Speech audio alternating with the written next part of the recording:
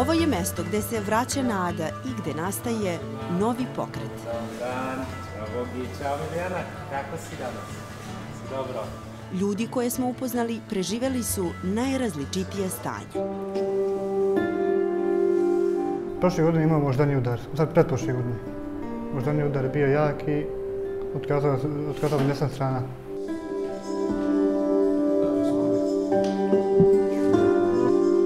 Počeo da idem po ovaj, na kliniku i ustanovi se da imam uh, uh, redka bolest u stvari na, na, na taj deo noge. Ovaj, I za kratko vreme sam, bukvalno su mi se noge oduzele, znači bukvalno sam prestao da hodam. Uverili smo se da su mnogi od ovih ljudi želeli samo da skoče u vodu, samo da malo dodaju gas i nezgoda se desila. Modern život, e, raznorazne životne iskustva, e, traume, incidenti, bolesti, nažalost, ostavljaju puno tragova na zdravlje naših ljudi, pacijenata, do teških neuroloških stanja kao što su moždani udari, cerebralne paralize, multiple skleroze.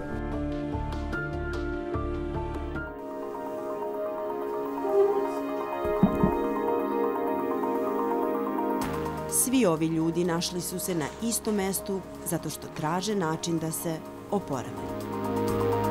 Za razliku od ostalih organa u telu, mozak ima jednu osobinu koja se naziva neuroplastičnost. A to je zapravo sposobnost mozga da se menja na zahtev okoline do kraja života.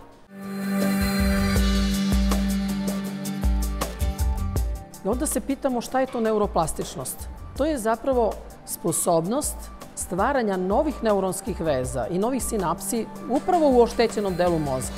Sa jedne strane, a sa druge strane to je aktivacija zdravih delova mozga da preuzmu funkciju oštećenih. To govori o nadi da možda nije kasno da čovek bude bolje. Zamislite vi porodicu koja je dovela takvog pacijenta i koja sada očekuje da on prohoda. A kad tog istog pacijenta terapeuti stave u razvoj da počne da hoda, tek onda da vidite salu emocija, sreće i radosti.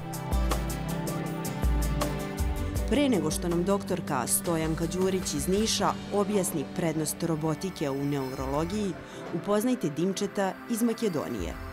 Ovaj čovek je bivši sportista, IT stručnjak koji je uvek vredno radio i sve na vreme završavao dok jednoga dana nije primetio da slabije korača i da bolest uzima maha. Moja dijagnoza, u princip, e, od te dijagnoze su ljudi normalni, hodaju, imaju se neku terapiju hronična, kao u hroničnu bolest se pretvori posle neke transplantacije, jedne, druge i tako. A sam ja redki slučaj, možda kažemo, ove godine, dve u Evropi, da smo jedan, dva čoveka samo što su te posledice od te bolesti. не можете да излазите од куќе, мислим, малото теше, треба да се луѓе, више луѓе ангажуваат околу вас за да идете доле, да идете до клинике, треба да примите терапија по опет назад, па идете на зрачење по опет назад, значи тоа тој е био до дужи период што е трајо код мене. И онда после те трансплантација кад оно прошло, počeo je stvar da ide malo na bolje i odmah predlog je bio u stvari dobro da sad evo bolest je u neku kontrolu ok. Uh, moramo da se prebacimo na smislu na, da vidimo šta ćemo da radimo sa nogama u smislu da vidimo kako će bude posle oporavak. Dogovorili smo se da štake idu u nišom. Tako je, tako je, da ih bacimo što ranije. Tako je, bravo, bravo. Tako je. Super si. Da su čuda moguća, zna i Milan Đurić, direktor jedne od najsavremenijih neuroklinika na Zapadnom Balkanu, ali zna i da lečenje i oporavak moraju biti podstaknuti najsavremenijim rešenjima. Do skora medicina nije imala puno toga da ponudi tim ljudima. Zapravo radilo se o konvencionalnoj fizikalnoj terapiji, radu sa terapeutima, kineziterapiji. Međutim, najveći problem koji se tu javljao jeste zapravo to što ti ljudi nisu bili u stanju da ustanu, nisu mogli da se podignu iz svojih kolica.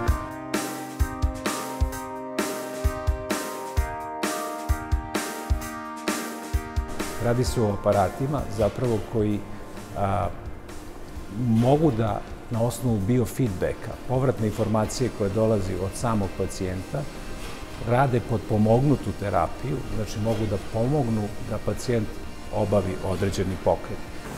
Mohamed, hello my friend. How are you today? Fine.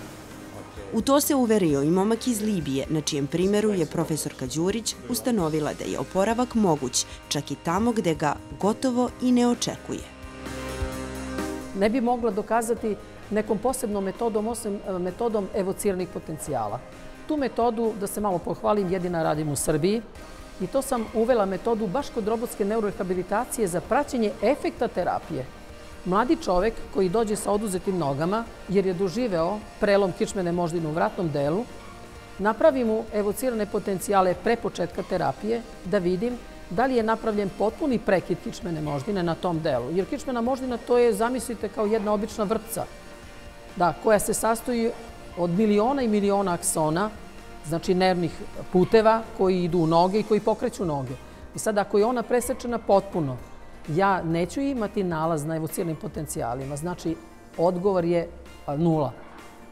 Nakon vežbanja, nakon robotike od tri meseca, ponovim ponovo tu istu metodu i ja dobijem neki odgovor. Aha, zaključujem da je u periodu tri meseca ipak uspostavljena neka veza, neki most preko ovog oštećenog dela i da će taj dečko vremenom prohodati. I to se zapravo desilo sa našim pacijentom iz Libije, koji je došao u kolicima i koji je uporno godinu dana vežbo i sada taj dečko trči.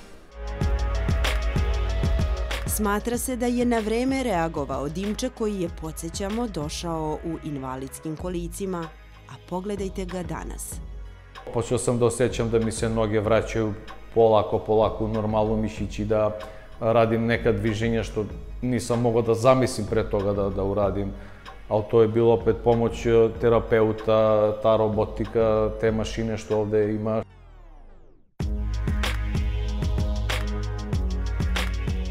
Ја кога сам устав први пат на, на ходалицу, за мене тоа било, како да кажем, нешто онако вратим се назад пред неко време како како ми исто та то добиете још снаге да, да, да, да може да вежбате да видите да нешто иде на боље.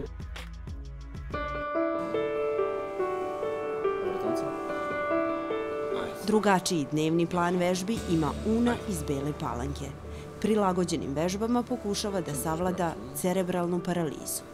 Svako od njih zna da je potrebno dosta rada, strpljenja i vremena. Kao važan deo oporavka smatraju se i trenuci odmora. To je deo od e, klinike gde mi najčešće provodimo deo pauze u toku dana i je baš ono najprijatnije mesto gde možda se družimo ja i moj drugar Mirza. Na početku, dok nisam shvatio, jesam bio strah malo. Ali sam onaj, imao sam potporu prijatelja, rodbine i tako da sam onaj, se na sebe boriti. Bio lakše. Uz, uz, potporu, uz podršku moji najbliži lakše je bilo.